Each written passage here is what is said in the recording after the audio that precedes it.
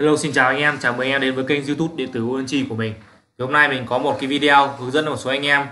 Đấy, Sau khi đã vẽ được cái phần à, PCB layout, cái phần à, sơ đồ nguyên lý này Từ sơ, sơ đồ nguyên lý vẽ được cái à, hình PCB layout này thì Bây giờ mình sẽ xuất ra file PDF để làm mạch in.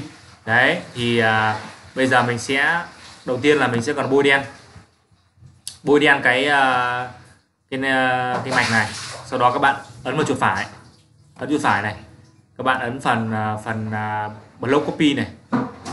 Đấy các bạn không ấn gì nhá các bạn sau đó di chuột xuống này. Di chuột xuống này khoảng cách từ tầm tầm này này. Đây thẳng hàng thẳng, hai cái hình thẳng nhau. Các bạn ấn, ấn chuột trái này.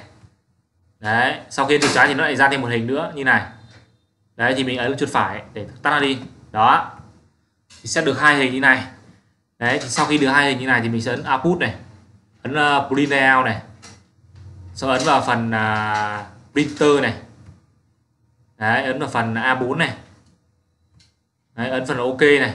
Là nó sẽ in ra tờ A4 thì bình thường nó sẽ hình này sẽ ở bên góc này. Thì các bạn kéo rồi cái phần ra phần giữa này để cho để cho cái phần hình của mình ấy nó in vào chính cái tờ A4 của mình. Đấy lý do vì sao mình mình copy ra thêm một hình nữa ở đây.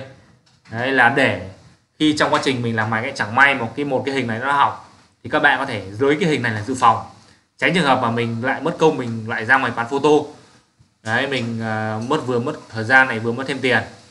Đấy thì uh, đối với mình cái kinh nghiệm của mình ấy thì thường là mình sẽ in uh, ra cái tờ giấy in ảnh loại mỏng nhất. Thì cái mình cảm giác cái hình cái cái cái giấy đấy thì quá trình mình đi ấy thì nó sẽ không bị bong bong cái lớp lớp lớp mực này. Và thứ hai mình cảm giác dùng cái loại giấy in ảnh này thì nó sẽ đẹp hơn. Đấy các bạn nhớ là giấy in ảnh loại mỏng nhất đó thì sau đó các bạn ấn là phần uh, bottom copper này. Đấy thì mình à, chỉ lấy một bottom copper thôi. À, lấy block x. Đấy bottom copper này block x này. Đó cái phần 100% giữ nguyên này một một giữ nguyên này.